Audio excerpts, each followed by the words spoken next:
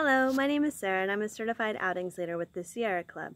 September is Trails Month, so all throughout the month we'll be highlighting little known trails within the region so that you have more opportunities to explore in a safe and socially distant manner. It is a pandemic, so please make sure that if you go out, you bring your mask with you. I am the only one in this parking lot right now, so I feel it is safe to be able to talk to you without the mask on today. We are currently at Lacawac Sanctuary, which is a field station and environmental education center in Lake Ariel, Pennsylvania, in Wayne County. Now, when you hear the term sanctuary, many people think that that means that this is a conserved piece of property that is not open to the public. That is not true. The sanctuary is open to the public dawn to dusk throughout the year. The only time that they close their gates is during rifle season because hunting is allowed on the property. Uh, this year, with Pennsylvania changing its regulations, there are dates when Sunday hunting is also allowed. So make sure that you wear your bright orange if you are out on the trails on November 15th, 22nd, or 29th in 2020. Lacawac Sanctuary has 545 acres to explore. Currently, we are at the Visitor Center and we will be hiking the Big Lake Trail today, which is roughly three miles through the property down to Lake Wallenpaupack and Paw Pack and back up again. It is their longest trail here at the sanctuary. Uh, many of their trails are around a mile to two miles and will have varying uh, vocal viewpoints.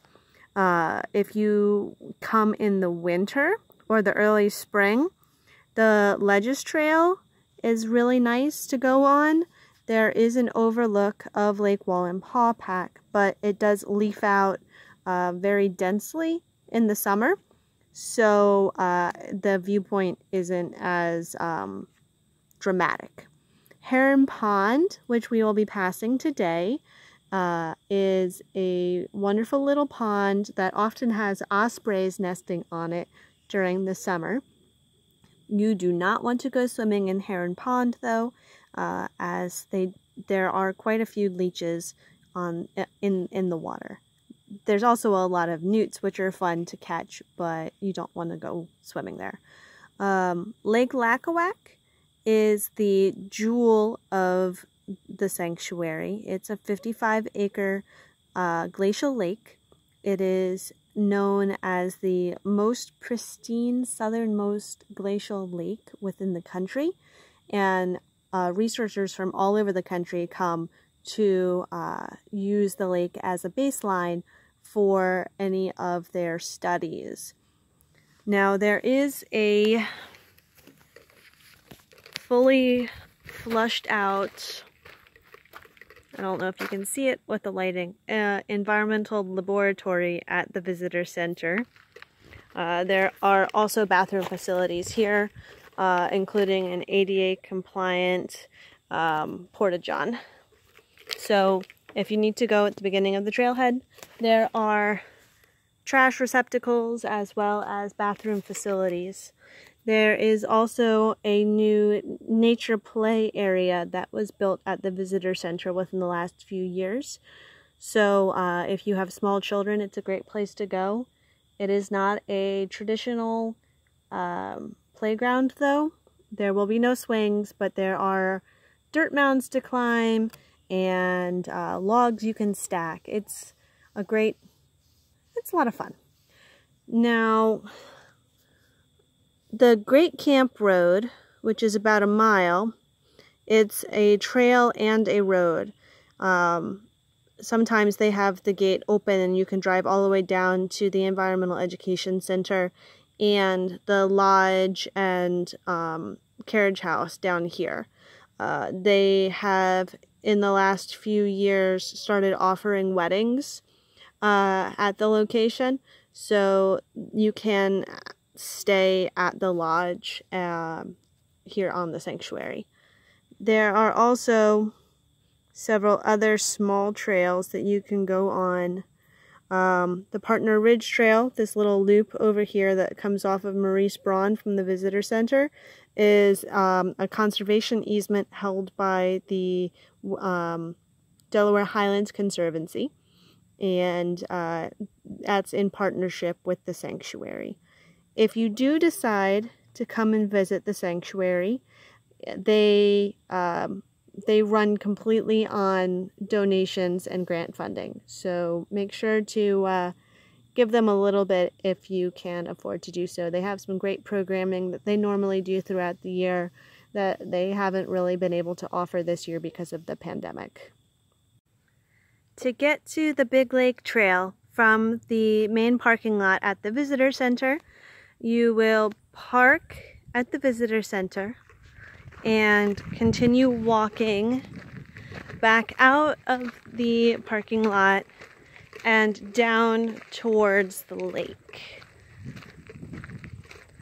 Here is the nature play area that I was discussing just a moment ago.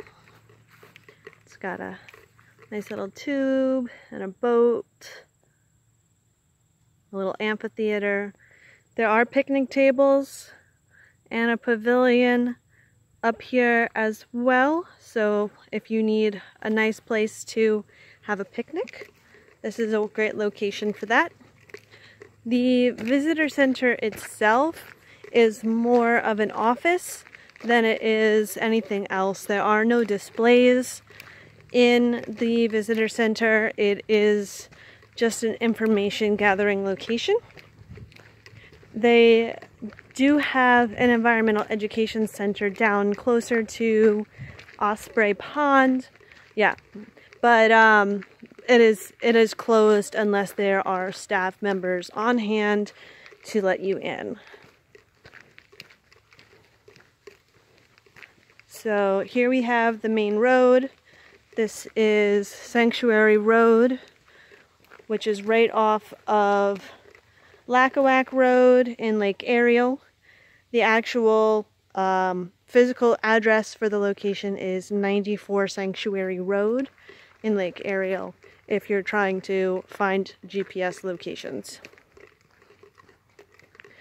Now we are technically on Great Camp Road, but you'll see the sign right up ahead that says Big Lake Trail which we will be taking. It goes off to the right.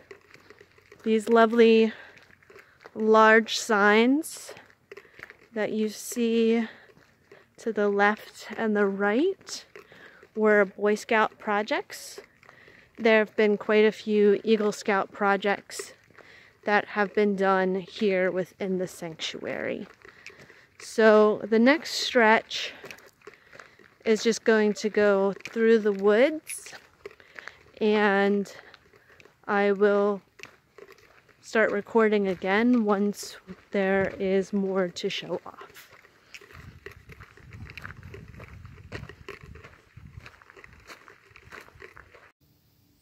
We are less than a quarter of a mile down the Big Lake Trail when you come to this first clearing.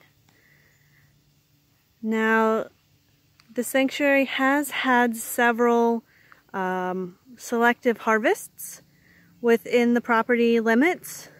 This is one of them. They cleared a bunch of trees a few years back to create this opening. But unfortunately, whenever you open things up and disturb um, the, the surrounding ecosystem, sometimes you have invasive species grow in. And this whole green swath right here and on the other side is full of Japanese stiltgrass, an invasive species that takes over. There's also a little bit of hay-scented fern peeking through, which nothing really eats. So sometimes you see giant fields of hay-scented fern, which look and smell delicious, but are not very good for the surrounding ecosystem.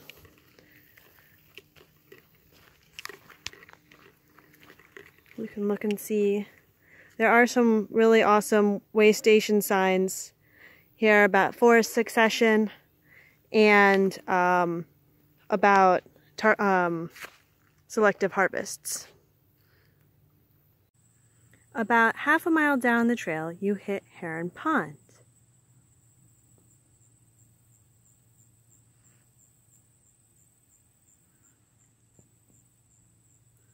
There are lots of amphibians in Heron Pond. You'll find newts and frogs aplenty. On a nice sunny day like today, you'll most likely see a couple of turtles basking themselves. And if you look across the way, you'll see a beaver dam, a beaver lodge actually, the beaver dam is down farther, a beaver lodge um, that you'll see other evidence of around the property. I'll show off a few beaver chewed logs in just a second. Now you'll see a house across the way. That is the Environmental Education Center, which we'll see once we are coming back from our hike. We've got some lovely little water lilies that haven't opened. Let me see if we can find some froggies. Oop, I heard one. Oop, there goes one.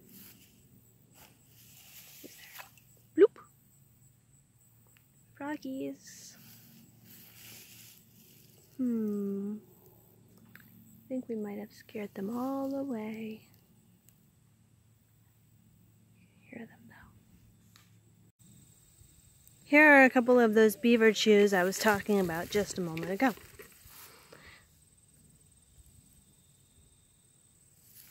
If you look carefully, you might be able to see some of the teeth marks.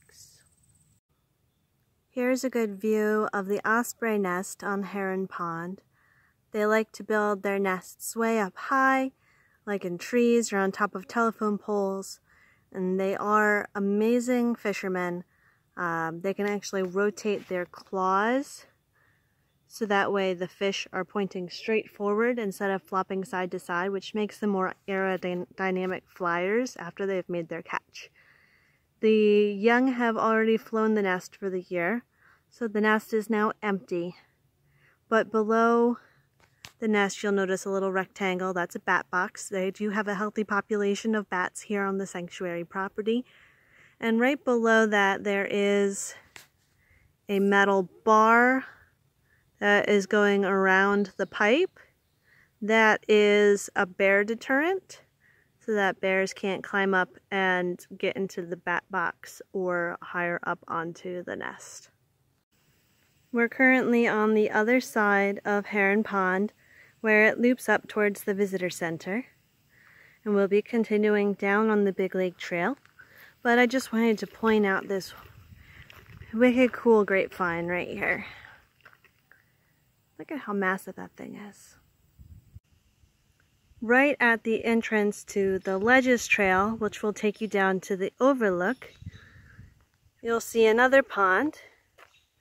This is Golden Pond. It's much smaller than Heron Pond is, but both were man-made by the previous owners. About a quarter mile down the trail from Golden Pond, you'll see another open area where another selective harvest was done a few years back.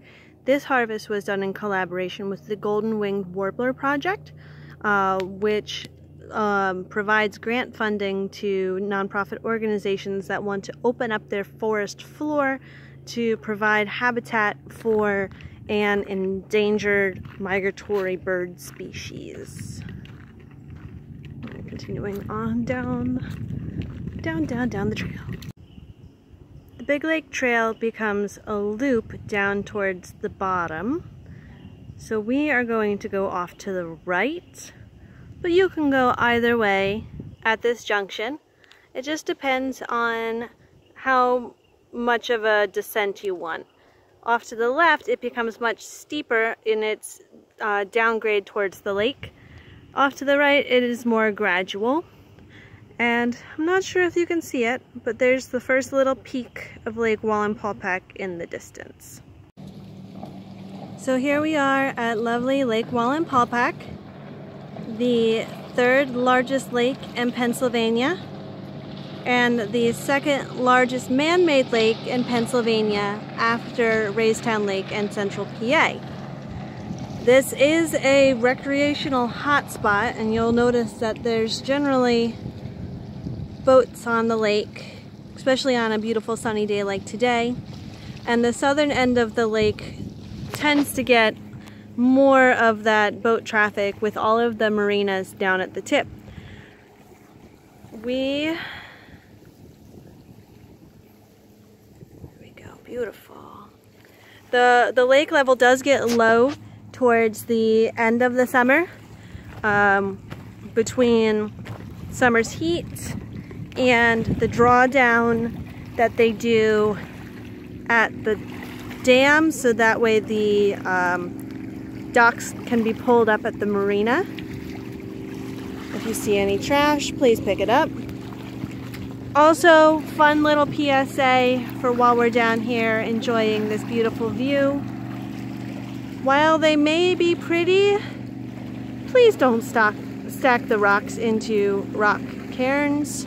Uh, it disturbs the surrounding habitat and um, is not nice for the amphibians and insects that live underneath those rocks. So this is a no-no.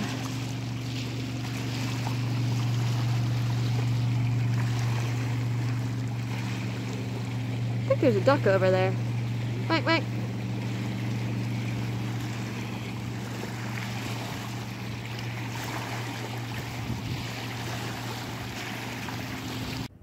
If you do decide to take the other half of the trail to make it a loop, here's that incline I was telling you about that goes straight back up to Lake Lacawac.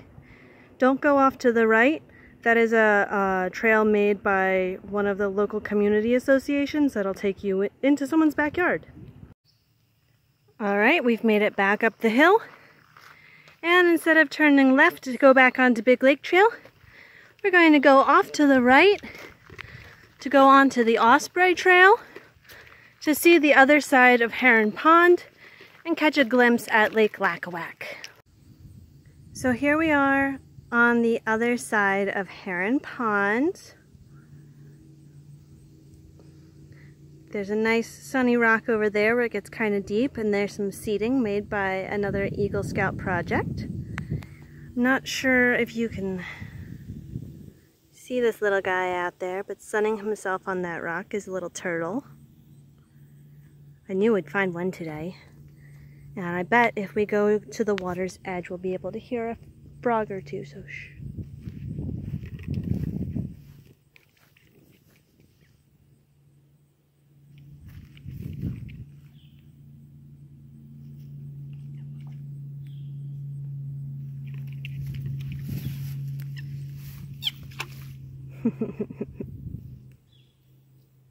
Knew we'd find a couple frogs. Behind us is the Watrous house. The yeah, the Watrous house. There we go. I can speak today. Um, where the sanctuary holds their summer camps normally. This year they went virtual, but it's a really nice building.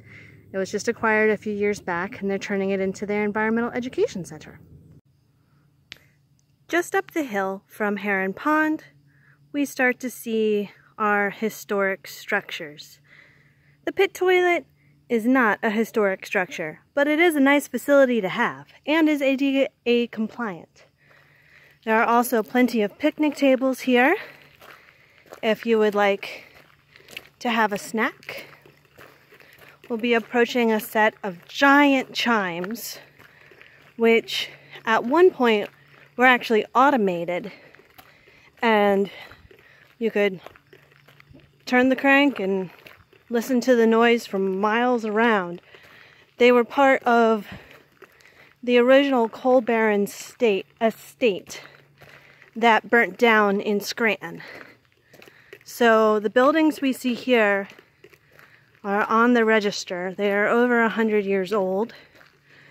The lodge over here was one of the first summer homes in Northeast PA. Uh, the owner would come from Scranton.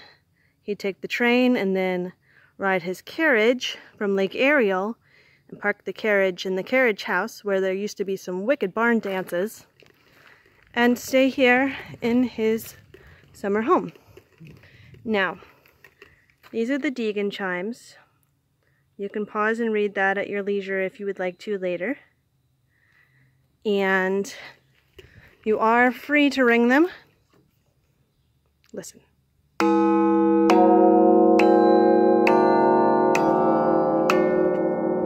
I'm too short.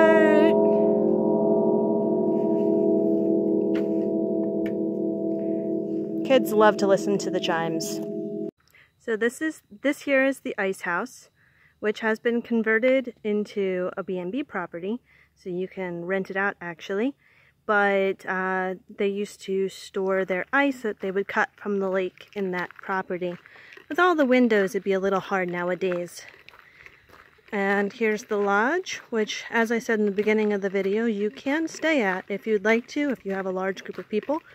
In the summers, they normally have research academies and college students that come and stay here on the property. And here we have Lake Lacawac. This is a research lake, so no boating, fishing, or swimming are allowed on the lake, but a few times a year they do offer guided boat trips with their own boats, so you can check their website at lacawacsanctuary.org and see when those happen because they are not very common and they fill up quick. Over yonder, that area over there is um, very boggy and you can find some pitcher plants and sundews in that vicinity. And then it gets more woody up that way.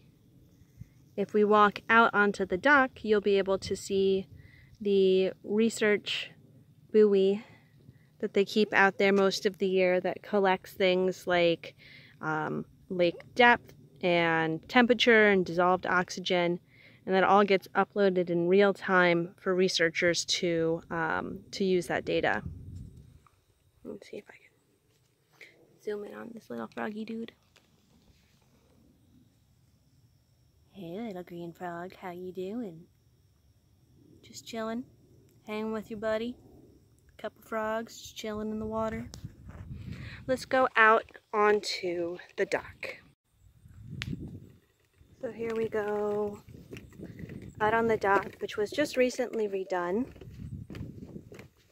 It used to get really, really boggy here in the springtime when the water was high.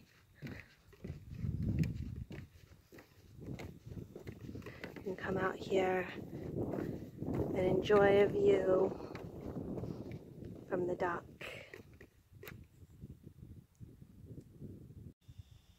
As we leave Lake Lacawac, we go down the very short carriage trail to make our way back out to the Great Camp Road slash trail, which is the way we'll be taking back. Normally, this trail also serves as the road down to the lodge and the watcher's house. But right now it is closed because the employees are not often here due to the pandemic. So we'll follow this up. It's just over about a half a mile back to the parking lot at this point. And we're back. So that was the Big Lake Trail down to Lake Wallenpaupack. Then we circled back. We took the Osprey Trail around Heron Pond to uh, Lake Lacawac. And then we took the carriage trail back to the Great Camp Trail to come back to the parking lot. Uh, so roughly a little over three miles round trip.